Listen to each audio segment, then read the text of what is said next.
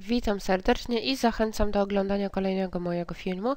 Tym razem zarówno czy ze statystyki matematycznej, czy z ekonometrii chciałam Wam pokazać prosto, jak można na papierze wykonać test współczynnika kierunkowego regresji prostej, e, test bazujący na rozkładzie testu studenta. Generalnie chodzi o to, że mamy jakąś tam regresję, y równa się ax plus b, bardzo prostą, najprostszą jaka może być i często jest polecenie, żebyśmy zbadali, czy ten współczynnik kierunkowy regresji, e, czyli y równa się ax plus b, tam dokładnie e, ta wartość a, współczynnik, który stoi przy x, czy on jest nieistotnie e, różny, czy inaczej, czy on jest istotnie różny od zera, czy może jednak jest równy e, 0, i w tym momencie możemy przeprowadzić test statystyczny, który wykorzystuje rozkład testu studenta.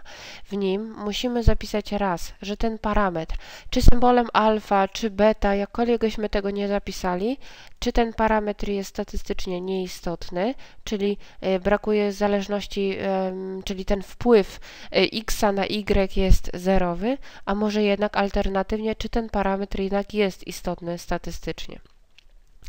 Jeżeli chcemy przeprowadzić taki test, w którym chcemy zbadać, czy współczynnik korelacji, e, współczynnik kierunkowy regresji, czyli ten A w zwykłej regresji liniowej jest istotny statystycznie, trzeba policzyć e, taką statystykę, jak tutaj mamy zapisaną.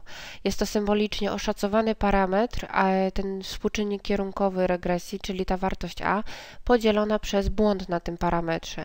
E, jeżeli wcześniej policzyliśmy, ile wynosi ten oszacowany współczynnik kierunkowy, a ile wynosi błąd na tym parametrze, na tym współczynniku y, kierunkowym regresji, bardzo łatwo jest podzielić wartość tego parametru przez błąd na tym parametrze i mamy wynik.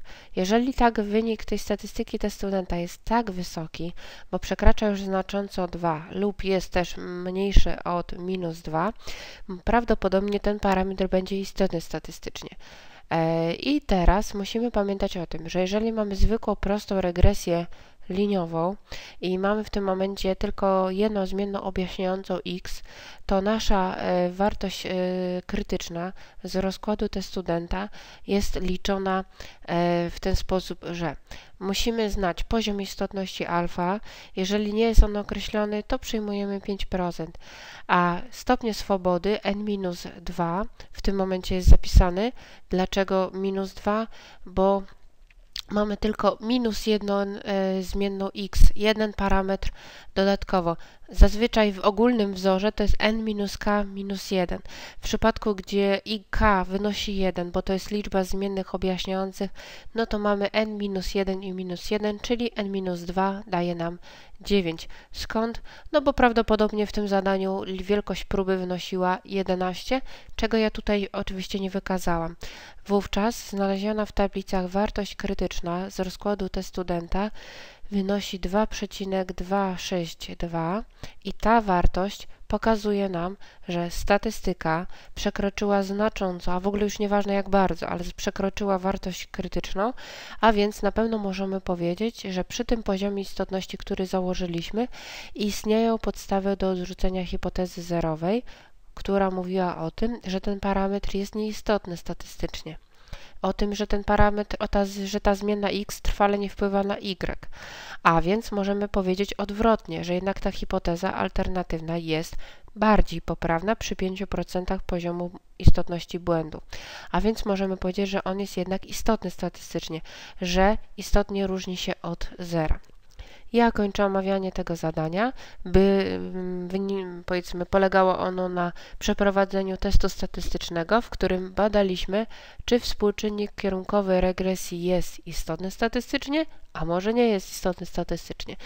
Jeżeli potrzebujecie się skontaktować ze mną, możecie wejść na zadania projekty.pl, ewentualnie pisać bezpośrednio adres mailowy na zadania myślnik projekty tam załączać można swoje zadania, z którymi macie problem. y, ze strony YouTube'a, to zapraszam Was do oglądania innych filmów, zdobywania wiedzy e, nie tylko ze statystyki czy z ekonometrii. Umieszczam filmy z innych przedmiotów, z których mogę Wam pomóc e, w Waszych zadaniach. E, zapraszam również do lajkowania, komentowania moich filmów, subskrybowania całego kanału i przeglądania wszystkich przygotowanych przeze mnie playlist. Pozdrawiam.